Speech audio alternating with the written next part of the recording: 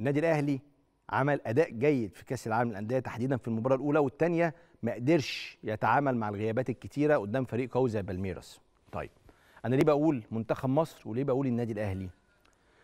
في نقطة مهمة لازم حضراتكم تبقوا فاهمينها وتبقوا عارفينها وتبقوا شايفينها مع بعض كلنا مع بعض. يعرفها المدربين اللي في مصر يعرفها اللاعبين اللي في مصر يعرفها المتابعين للكرة في كل العالم. إحنا عندنا لاعبين جيدين. عندنا لاعبين رائعين تمام؟ حط دي الأول على جنب. مش تقليل اللي هقوله اللي جاي ده مش تقليل منهم. لعيبة مميزة ورجالة وعندهم إمكانيات ومهارات فطرية من عند ربنا. خلاص؟ حط ده على جنب. الحتة التانية اللي محتاجين نشتغل عليها الفترة اللي جاية ونشتغل فيها مع متخصصين وهقول لكم ووعد يعني إن شاء الله نعمل ده في رقم 10 هنا.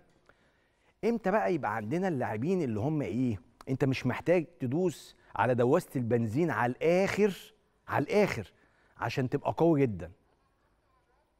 هشرحها لك بمعنى أسهل.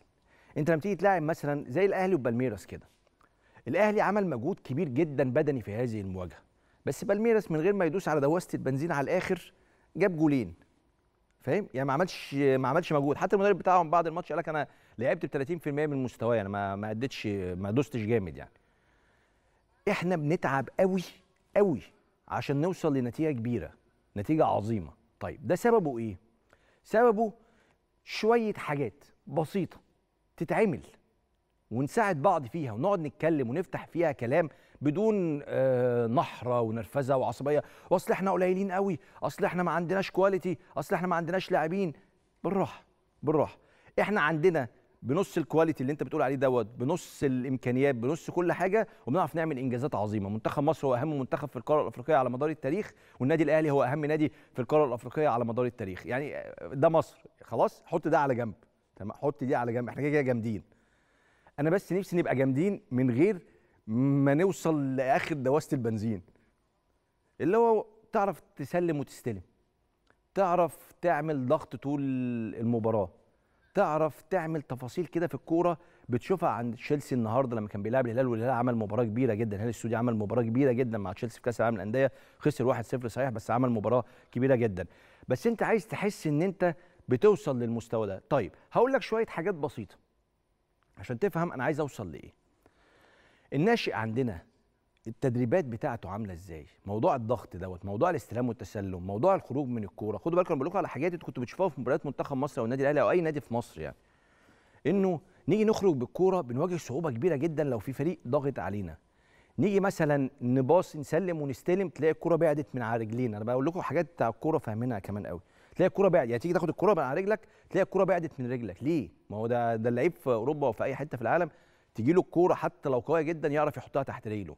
تفاصيل صغيرة بس مهمة جدا. لعيبة آه، السنغال إحنا ليه كنا حاسين المنتخب السنغالي قوي جدا؟ كلهم بيلعبوا في أوروبا. كلهم بيحتكوا بدوريات ومنافسين أقوياء جدا. وهديك مثل بسيط.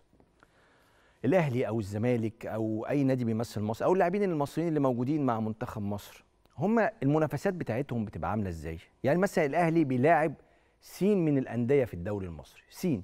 مش عايز اسمي اسم عشان ما اقللش من حد. لما بيجي يطلع من الكورة من خط الدفاع أصلا ما فيش فرقة بتضغط عليه.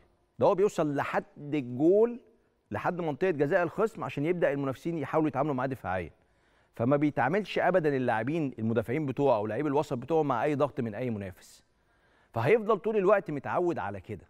لما بيجي بقى يخش على منافسات أكبر في كأس الأمم الأفريقية مثلا تمام مع لاعبين بيلعبوا في أوروبا يلاقي لأ الدنيا مختلفة. إيه ده؟ ده أنا ما أنا ما شفتش كده قبل كده أنا مش متعود على ده. لما يجي النادي الأهلي يلعب مع فرق عالمية ما هو النادي الأهلي كبير ومنتخب مصر كبير بس برضه ما هو مش متعود على ده. ما هو أنا أنا ما جربتش ده قبل كده. أنا مع أنا أنا كلاعب ما عنديش مشكلة بس مش متعود على ده. ما شفتهوش قبل كده.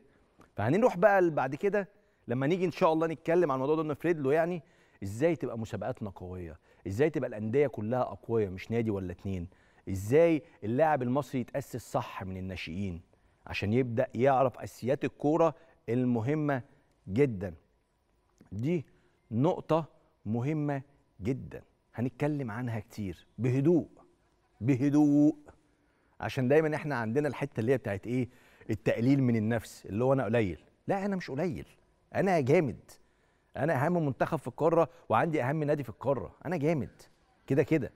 بس نفسي بقى لما نوصل كأس العالم إن شاء الله وبإذن الله نوصل كأس العالم لا نخش ونلعب مع هلعب مع فرنسا النهارده. أهلا وسهلا. هنلعب مع إسبانيا النهارده. يا سيدي يا مرحب. تمام؟ مش شرط أكسبهم يعني بس هعرف أتعامل معاهم. أعرف أأدي معاهم بشكل كويس. دي نقطة من النقط اللي أنا زي ما قلت لكم حابب نفرد لها نفرد لها كتير ونتكلم عنها كتير جدا.